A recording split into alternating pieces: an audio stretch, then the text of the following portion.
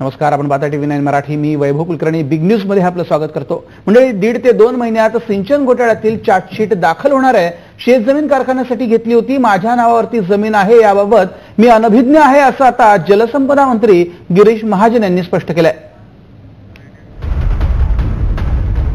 पंचवीस एकर जमीन कारखान्याच्या नावावर घेतली आणि बाकीची जमीन आहे ती डायरेक्टरच्या नावावर घेतली. म्हणून माझ्या नावावर सुद्धा पाच एकर जमीन त्या ठिकाणी आलेली आहे. आणि पाच एकर जमीन त्या ठिकाणी मला असं वाटलं त्यावेळेला की माझ्या ज्यावेळेला सह्या घेतल्या ज्यावेळेला खरेदी झाली ती एक कारखान्याच्या नावावर आहे. आणि ते तसंच होतं की मी डायरेक्टर म्हणून ती जमीन कारखान्याने खरेदी केली. पैसे कारखान्याने त्यांच्या अकाउंटमधून त्या ठिकाणी दिले एक लाख अकरा हजार रुपये फक्त त्या जमिनीची त्यावेळेला किंमत होती. ती नियमानुसार होती. आणि ती जमीन खरेदी केल्यावर दोन तीन दोन वर्षातच सरकार बदललं आणि केंद्राची पॉलिसी सुद्धा इथल्या संदर्भातली बदलली. आणि म्हणून त्या कारखान्याला पुढे चालना मिळाली नाही. मग तो कारखाना तसाच पडून राहिला. लोकांचे शेअर बऱ्याच औषधी ज्यांना पाहिजे त्यांना मी परत त्या ठिकाणी कारखाना दरम्यान राष्ट्रवादी काँग्रेसचे प्रवक्ते नवाब मलिक यांनी भाजपच्या नेत्यांवरती जोरदार टीका केली. गिरीश बापट गिरीश महाजन आणि रावसाहेब दानवेंवरती त्यांनी आज तोफ डागले.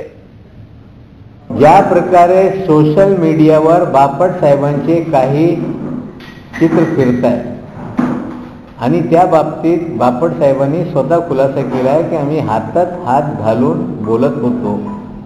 काय बोलत होते ते ते बोलले. पण हे चित्र पाहून कुणाला आश्चर्य वाटत नाही? कारण श्री ग्रीस बापट महाराष्ट्रातले मंत्रिमंडळातले रंगीला रतन आहे. ते स्वतः सांगत होते की मी रात्री ब्लू फिल्म पाहतो. जर एखादा मंत्री रात्री ब्लू फिल्म पाहत असेल तर हातात हात घालून ते बोलू शकताय. मंत्री महोदय सांगताय की मी विसरून गेलो. त्यामुळे हे माहिती मला देती देता आली नाही. मंत्री महोदय जर विसरले होते ही जागा त्यांच्याकडे आहे. मग याला बाउंड्री वॉल चार एकर जागेवर वेगळी कशी लागली? त्या जागेवर मंत्री महोदयांनी आंब्याचे बाग कसे लावले? त्या जागेवर सरकारी खर्चाने रस्ते कसे तयार होतात? हे जाणून बुजून माहिती दडपण्यात आलेली आहे. महार वतन जमीन खरेदी करता आगाऊ परमिशन घेऊन केलं पाहिजे होतं. ते परमिशन त्या काळात कायदा असताना घेतली नाही.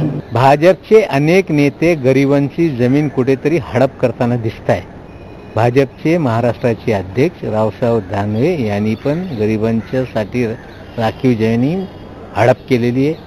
त्याच्यावर आलिशान बंगला बांधलेला आहे. आणि त्यापेक्षा जास्त त्यांनी खासदार निधीतून सादी खाना तयार करून ते स्वतःसाठी वापरत आहे आणि बातमी आहे आणखी एका टीकेची मुंबईतील रस्ते घोटाळा प्रकरणामध्ये जे करून दाखवलं म्हणतात त्यांना आत जाण्याची वेळ येऊ शकते असा टोला भाजप आमदार आशिष शेलार यांनी लगावलाय. तर भाजपनं आधी दानवे खडसे आणि महाजन यांची प्रकरणं बघावीत असं प्रत्युत्तर